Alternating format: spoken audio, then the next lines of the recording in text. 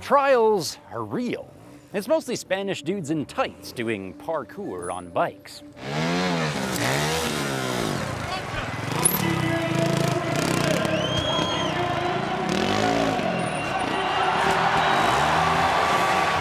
This looks like an expensive, dangerous, and exotic pastime.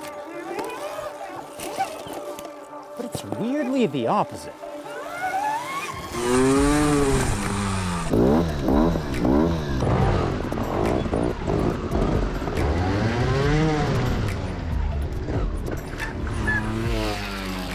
Cheap.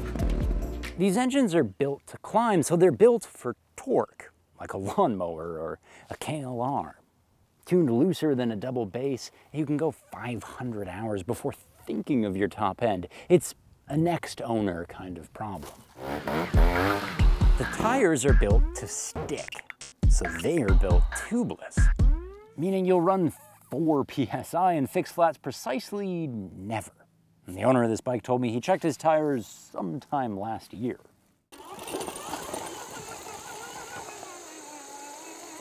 Silent ones have even lower cost of ownership, and range issues are no issue at trial speed. And yesterday I rode till I could hardly lift my beers. I still had 26% left. So while this looks fancy, it's actually the cheapest type of motorcycle. Easy. 150 pounds. My grandmother could stop you this thing, and she's dead. Hmm?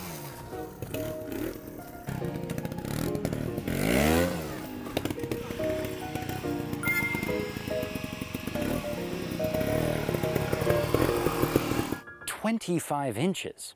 My entire riding group can flat foot this thing, and they're fine. Here's the design brief. I can make any body movement to maximal effect, while any motorcycle movement minimally affects my body. No long springs to buck me over the bars, no high seat to tip me into the ground. I couldn't invent a better learning tool. It forces me to find rest while standing, to find those body positions that don't fight the bike, but allow it to go where my throttle, clutch, and brakes command it to. And when you learn to not override a trial bike, it'll go anywhere. That's why trial pros are immediately advanced in other disciplines. They're experts at letting a motorcycle drive itself.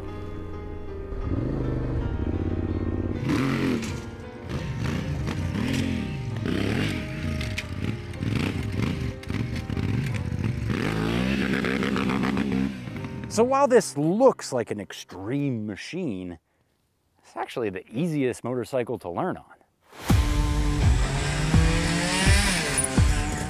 Accessible.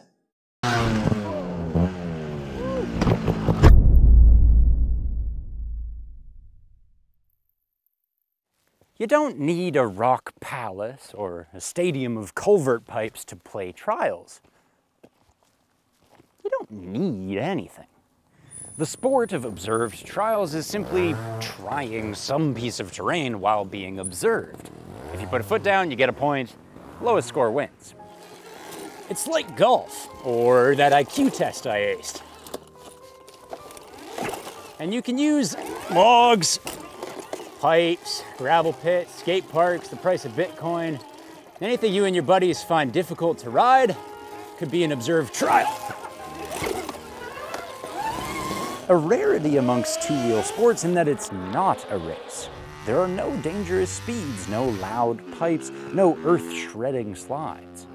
Ours is a game of preserving traction, a game of least requisite power which is why trial bikes have 2.5 liter sippy cups, and on a good day, I'll burn half them. Leaving a tiny footprint through the forest, one green line. There's no reason you couldn't draw it where hikers hike, or share terrain with sheep, horses, skateboarders, other animals, except that it's misunderstood. And trials clubs are endangered because this looks expensive, difficult, and exotic. Land regulators paint them with other motorcycles, dangerous and disruptive. Fortunately, as we can now explain, trials are not what you think.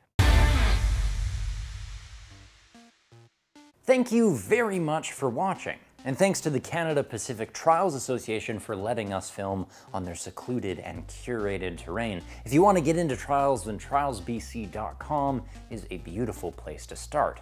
Also thanks to Sean Bird and Alex Walton for showing us the stunning possibilities of this sport when elevated by passion and profession.